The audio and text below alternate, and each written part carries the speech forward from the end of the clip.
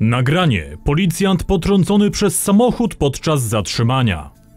Policja z Orlando udostępniła to nagranie pochodzące z wtorku, na którym widzimy jak oficer William Anderson zatrzymuje samochód.